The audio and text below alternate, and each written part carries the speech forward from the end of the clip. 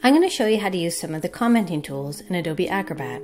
Your version of Acrobat may look a little bit different depending on the version you are using, but the commenting tools are the same. First, you need to be able to access the commenting tools. With your PDF file open in Acrobat, select the Tools tab. Then select the Comment button in the Tools Center under Share and Review. The Comment toolbar will appear along the top of the PDF, and the comment pane will appear along the right side of the PDF. Let's look at the five commenting tools that are the most useful when supplying revisions to a designer when working on a publication such as a book. Add sticky note, highlight text, strike through text, add note to replace text, and insert text at cursor. The sticky note tool lets you stick a comment anywhere on the page. To use the sticky note tool, select it in the toolbar and then click the spot where you want the note to appear. Your cursor will move to the comment pane where you can type your comment.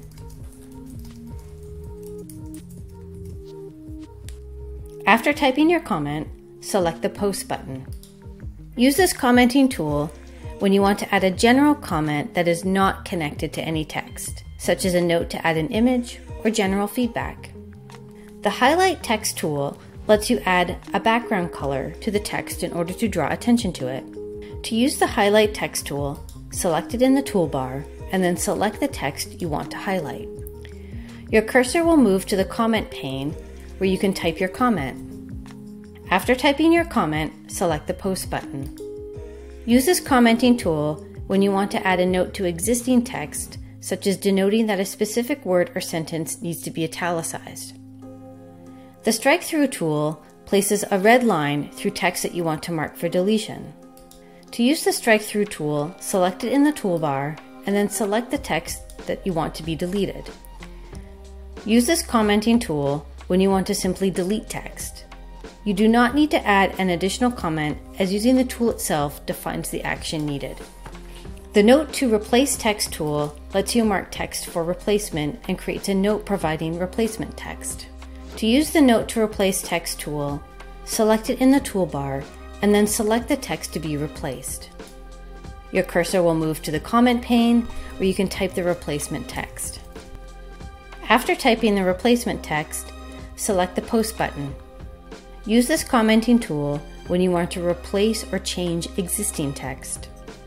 The Insert Text at Cursor tool lets you indicate where new text should be inserted or added. To use the Insert Text at Cursor tool, select it in the toolbar, and then click the location where you want the new text to be inserted. Your cursor will move to the comment pane where you can type the text that will be added. After typing the new text, select the Post button. Use this commenting tool when you want to add text, not replace existing text.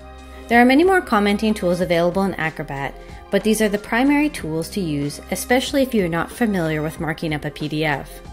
You want to make sure you use one commenting tool per revision. So before you comment, you need to determine the action you want replacing, or deleting, or inserting, or commenting. For example, you don't need to use the strike through tool as well as the highlight text tool if you want to denote that text should be deleted. You would only use the strike through tool.